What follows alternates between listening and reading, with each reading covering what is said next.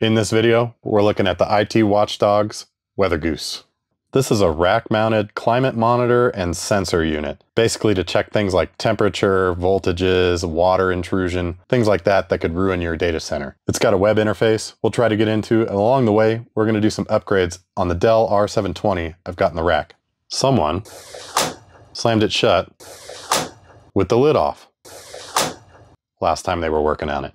So now the intrusion sensor is broken on it. We'll have to take a look at that.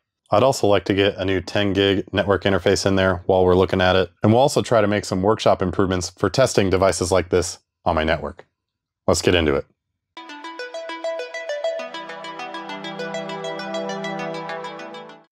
This is a Climate Monitor WX Goose 1, otherwise known as a Weather Goose from IT Watchdogs Incorporated.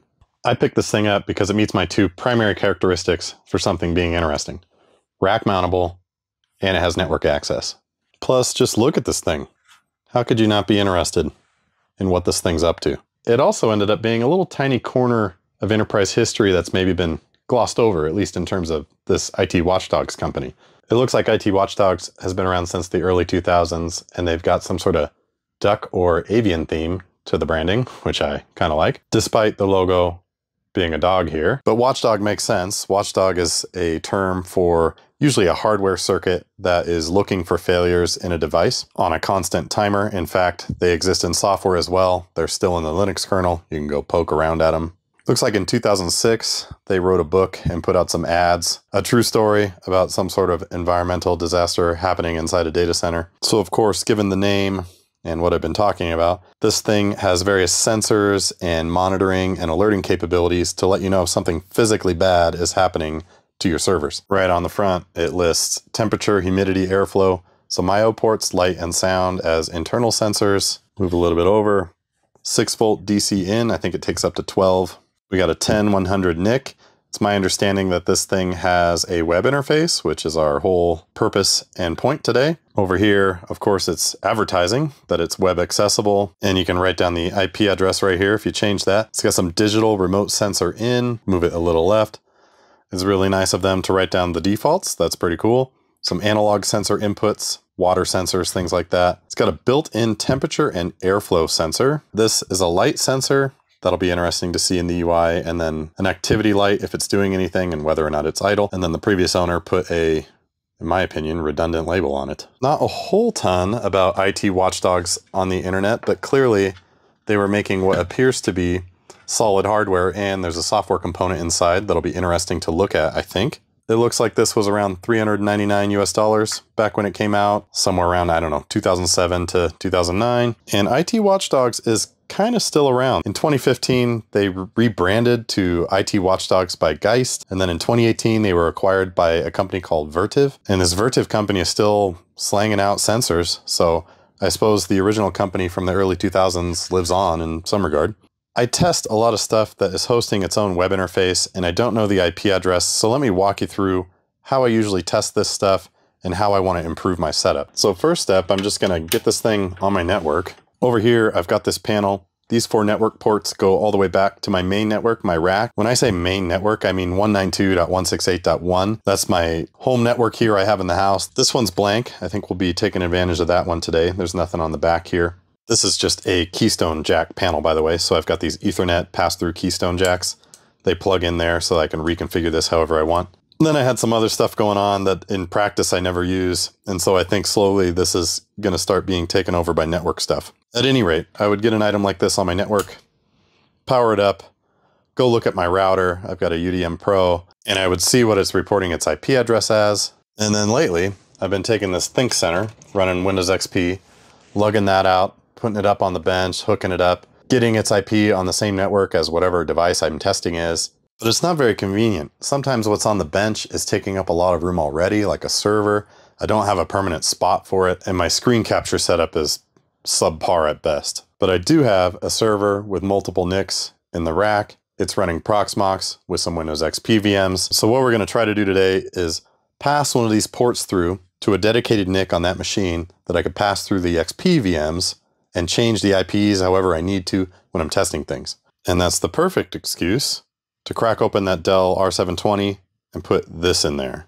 Right now, it's got a daughter board with four 1 gig NICs, and then I've got a Mellanox 10 gig PCI card in there. Well, a few months ago, I picked up a different daughter board for it, which has two 10 gig SFPs, so I can use those DAC direct attached copper cables I've got going in there, and then two 1 gig NICs.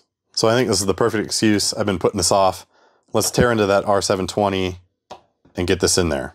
I actually need to get in here because last time I was messing with it to do that home lab cable video, I banged it shut with the lid off and I'm pretty sure I broke the case sensor. I'm 90% sure it used to poke out of here.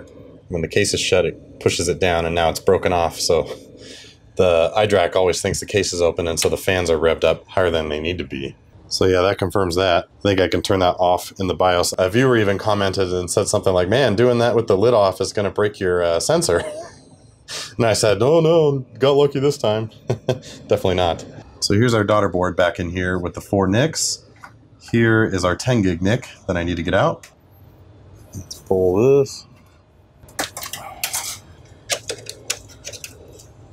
just like that.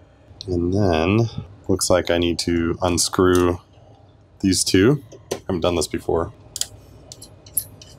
Just comes out like that. There's the four port one gig NIC. This one's going to generate a lot more heat, apparently. Does it even fit? Fits perfectly.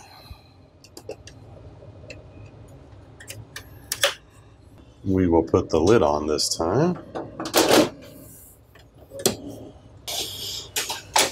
Just like that.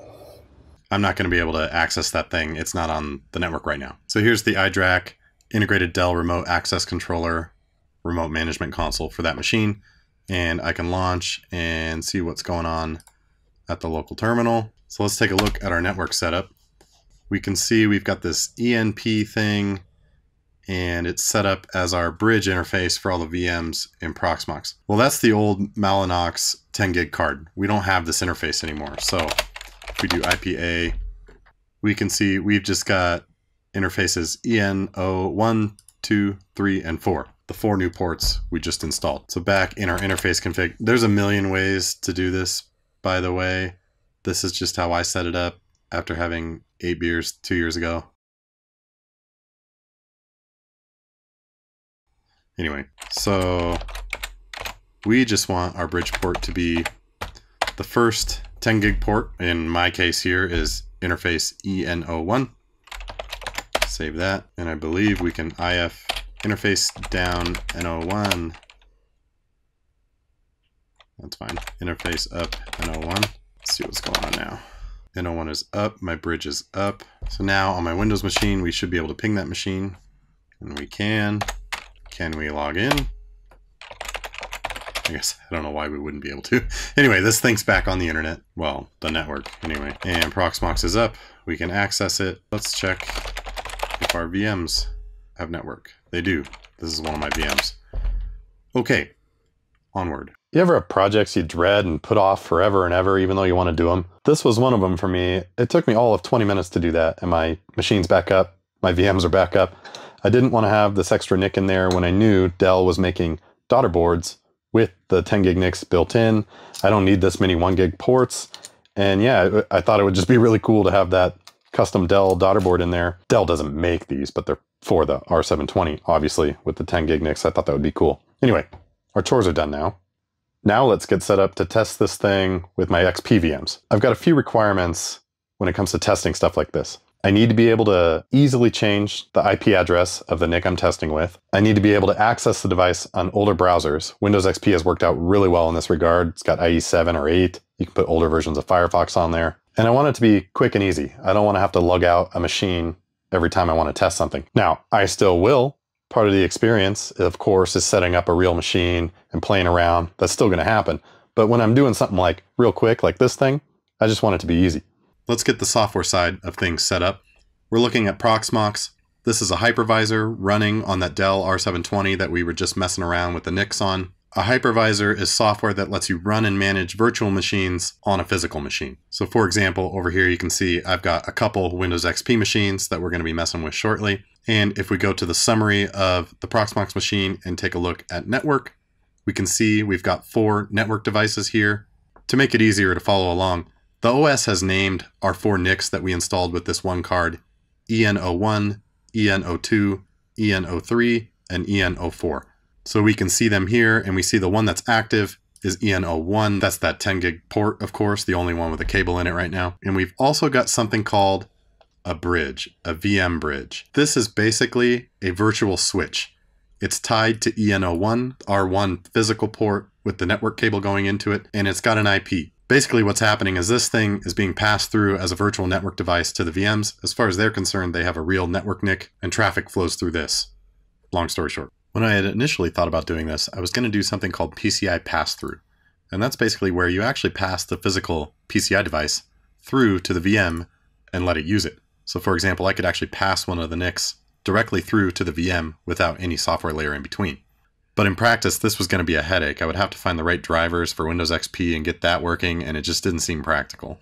My thinking here is that I'm going to create another bridge, VM, we'll just call it VMBR1, I'll get it on a totally different network for now, just so we know we're dealing with different stuff. And I can bond it to a physical NIC. And I'm going to bond it to ENO3, which is our first 1 gig NIC.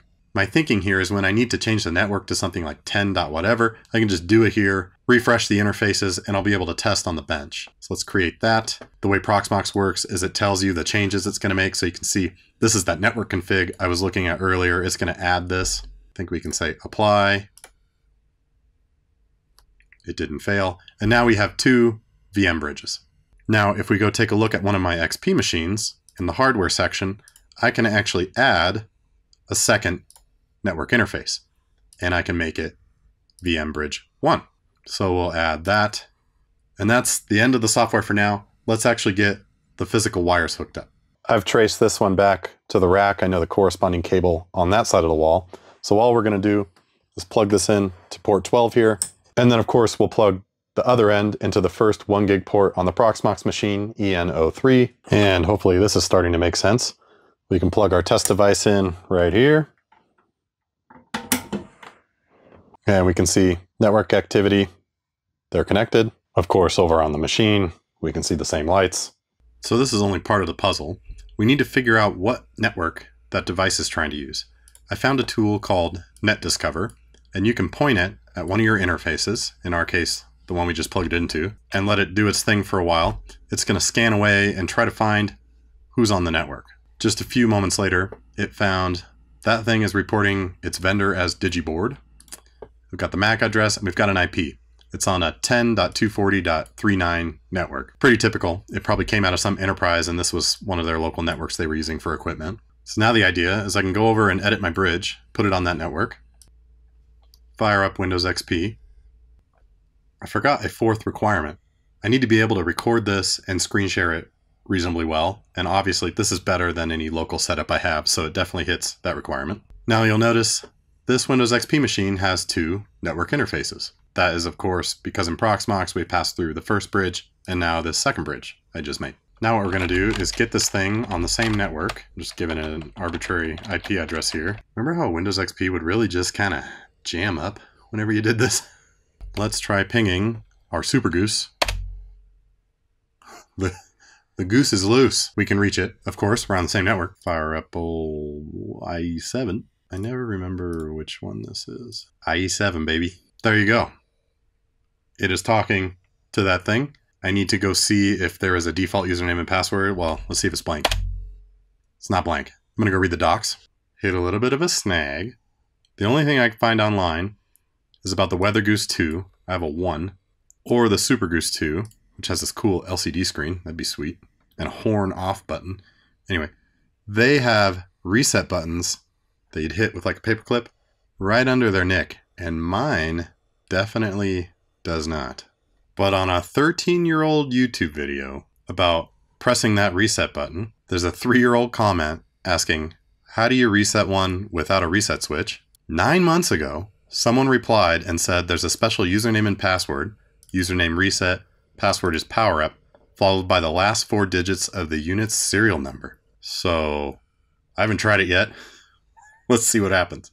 Mine has a couple stickers that look like they might be serial numbers. We'll try this one first. So the last four is 0052. I am highly skeptical. Username reset, password is powerup0052. you have to be kidding me. The internet still is still a magical place, folks. you just saw it unfold before your eyes. This is even better than a reset button because that was going to clear everything. This thing came from the Phoenix server room. We have an admin contact and a phone number that I will blur out. this is great. All right. This is fantastic. Let's have a look around. Let's look at the logs. I'm going to download the raw log data. Yes. CSV. We'll look at that later. Oh, the interface is grinding on this log export. Can't even move around. I'm going to reset the device info so I don't have to blur it out in all the recordings. But long story short, this used to belong to a company called Atkins Global, which is apparently a Canadian British engineering firm of some sort that's been around forever. I like Phoenix Server Room. We'll leave that. That's a cool server room name. Save that. And while I'm here, I will reset the administrator password. So yeah, I'm able to tell it's Atkins because all the emails were atkinsglobal.com, their old website. They had an SMTP server. They had a time their own time server they were hosting. Pretty cool. So I guess let's get started. The only sensor I really have is this airflow one, light level, and temperature, because those are built in to the unit. One of the internal sensors they've named City Power Monitor. Not sure how that works. I'd have to read the documentation. And then we can see the alarms that they had set up. So they cared if it got too cold, below 60 or above 85 Fahrenheit, they would send an email and an SNMP message. And then this city power thing they had wired up, they would also alert on whatever that means.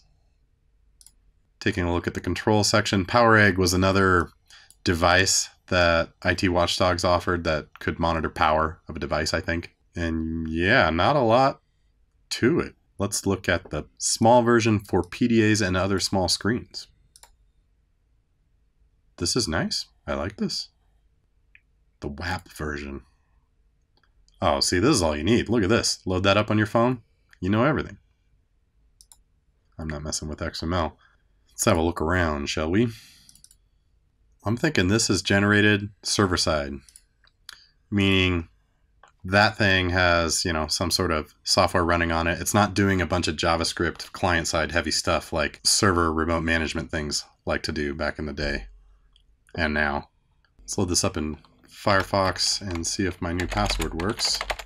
It does.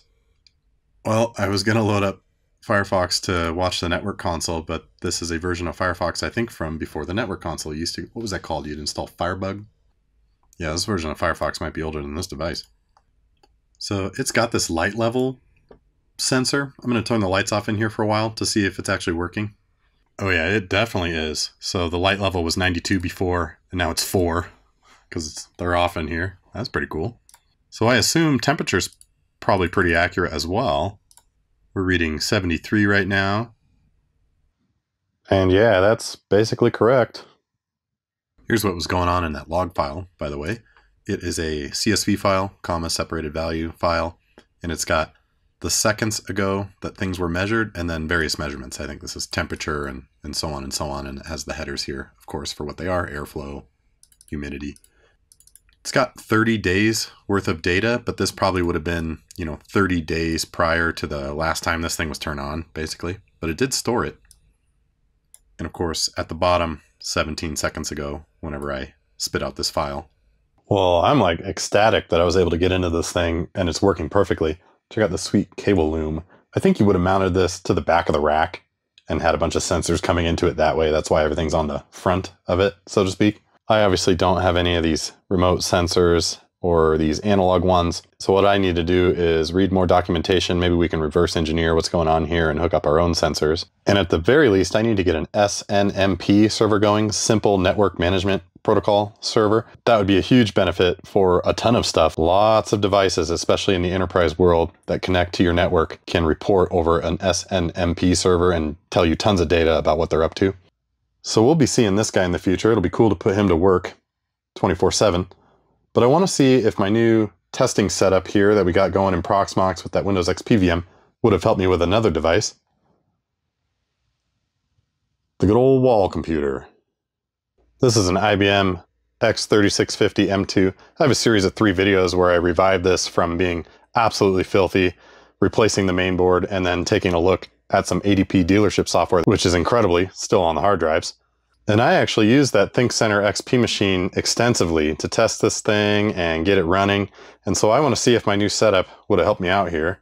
And I think I've got some improvements in mind already. So it's got an IMM right here, integrated management module that allows for remote management of the machine. It's on some wonky IP 206 something, I think. So let's go check out my new setup and see how easy it is to test this thing. Hopefully it doesn't power all the way up. It did not. I can just hear the PSU fan spinning in there. So this thing's got an IMM integrated management module, sort of a little computer inside of a computer. That's the ethernet cord we just plugged in there. We'll let that boot up for a second and see if we can detect it with our new setup. Well, I'm definitely not done yet. So NetDiscover or any other Nmap or ARPScan or whatever tools, you need to know the network. So it's scanning common ones, common internal networks 192.168, 10. whatever, 172. whatever. I got lucky with the IT watchdog. It was on a 10. whatever. This thing found it right away. The ADP machine on the wall is on 206. dot something. So you're never going to guess that. I happen to know it because it had labels on it and it happened to be true.